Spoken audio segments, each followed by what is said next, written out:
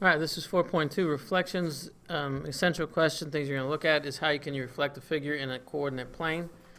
Um, you're going to be able to perform reflections, do what's called a glide reflection.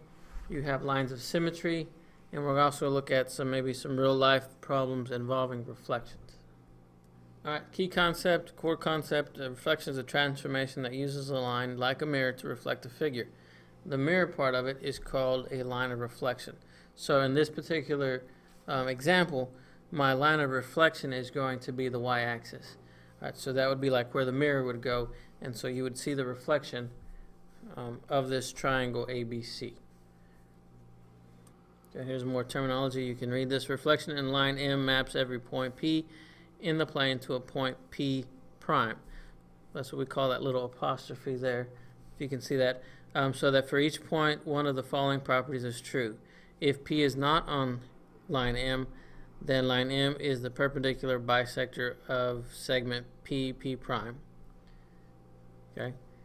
Or the other thing that you can see of the property, if P is on M, then P is equal to P prime. So basically what is saying is that here's my line of reflection M, and I have this point P. Okay, the distance from P to that line of reflection is congruent to the distance from P prime to the line of reflection. Notice that these lines here intersect that line of reflection at a 90 degree angle. Okay, so they're equidistant is another way of looking at it.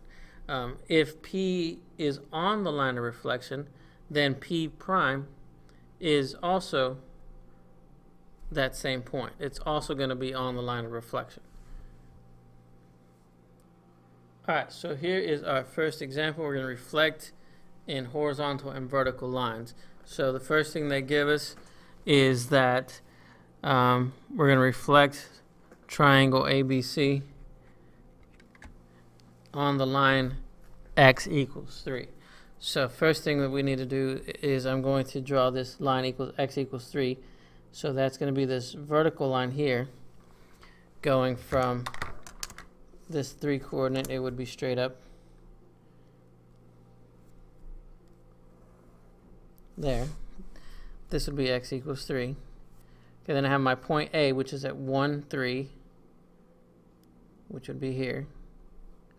Point B is at 5, 2. Which would be here. And then C is going to be at 2, 1. Okay, so I'm going to go ahead and connect those.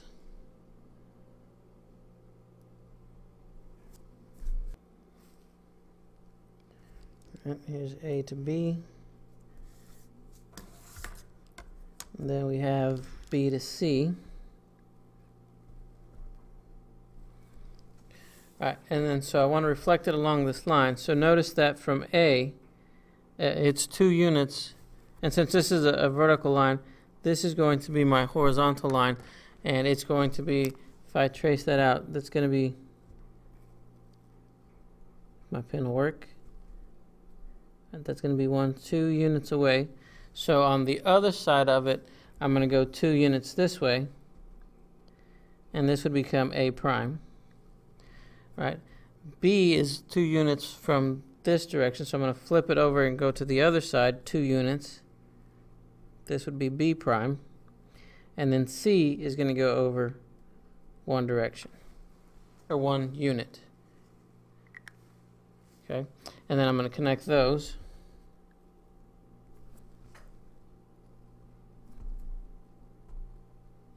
All right, and that gives me the image A prime, B prime, C prime. All right, now we're going to do the same thing with um, a horizontal line at y equals 1. So that is going to be here.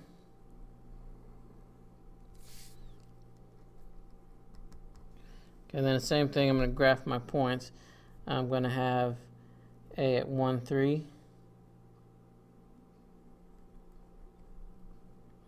B is at 5, 2. C is at 2, 1.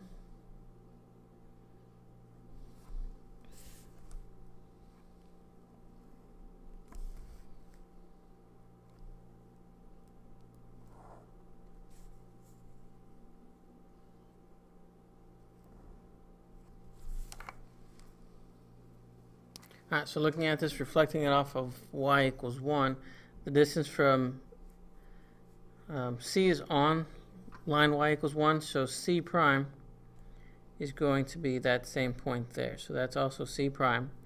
Now from y equals 1 and A, that's 2 units away. So then I'm going to come down 2 units. This would give me my A prime. B is 1 unit away from y equals 1. So that's going to be there. And then if I connect those two, or those three points,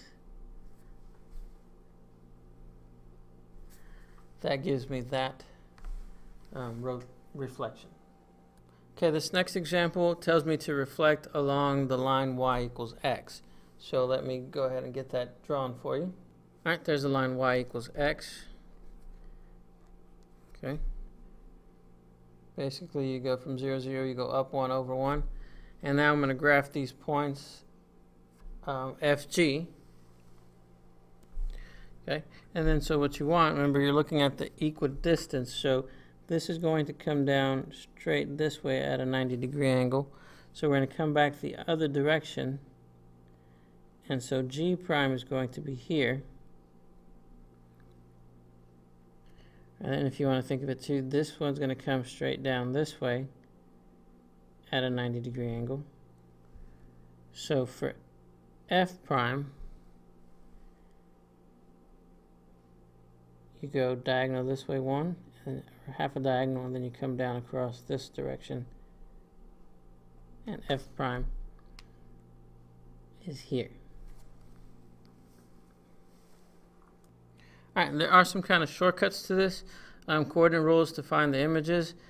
Um, depending on where you're reflecting, if you're reflecting off the x-axis, you change, basically the only thing you change is your y. So if it's b, it's going to become negative b. If you're on the y-axis, your x changes. It's the opposite x. If you're changing across the y equals x line, you flip your x and y values. If you're reflecting over y equals negative x, then you want you flip them and you also do the opposite values. So here you have AB, then for your new coordinates, it's going to be negative B, negative A. Okay, so on example 3, we're going to take that segment FG from example 2, except this time we're going to reflect it on the y equals negative x line. All right, so there's y equals negative x. It's going kind of, y equals x is going this way, y equals negative x is going back in the kind of opposite direction. All right, and so here's f segment FG, here's the coordinates, and according to the rules that we just stated, um, since I'm reflecting across the y equals negative x, I'm going to flip my exponents. So f prime, or my coordinates, f prime is going to be 2, negative 1, but I also want to do the opposite, so this is going to become negative 2, positive 1. And then for g prime, those coordinates are going to be 2, 1. As I flip them, and then I have to negate them, I have to do the opposite, so it's going to be negative 2, negative 1. So I'm going to go ahead and graph that real quick. Um, negative 2, positive 1 is going to be my f prime. g is going to be negative 2, negative 1. Okay, so using, if I can remember these rules, it makes it easier to draw and get the coordinates, and that's what it would look like. That would be a reflection of segment FG on y equals negative x.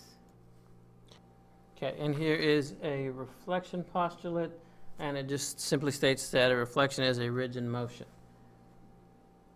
All right, and here's a little explanation. Glide reflection is a transformation involving a translation followed by a reflection. So kind of like what we talked about on 4.1, a composition where you're doing multiple steps.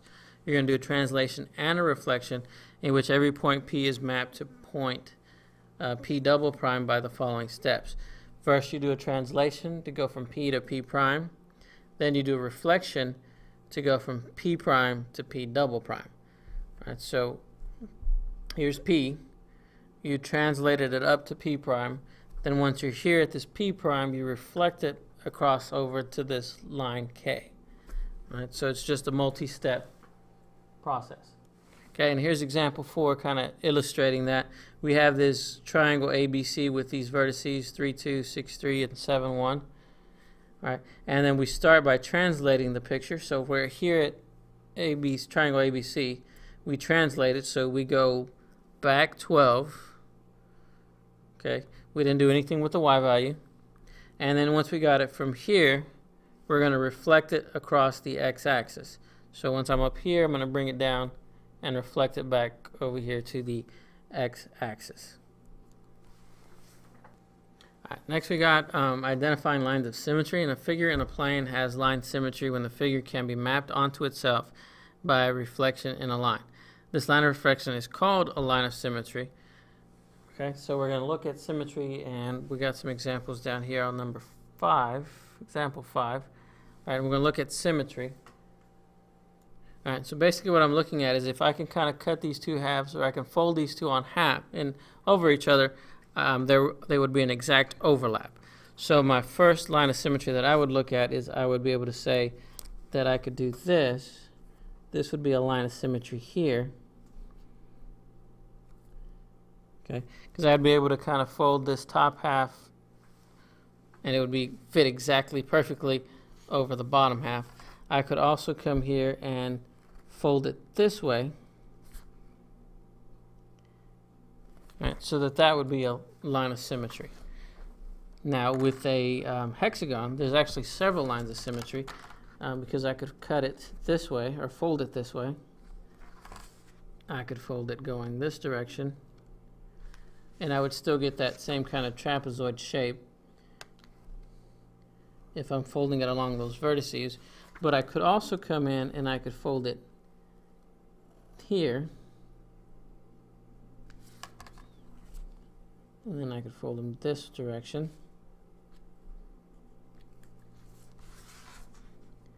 And I could also fold it this way.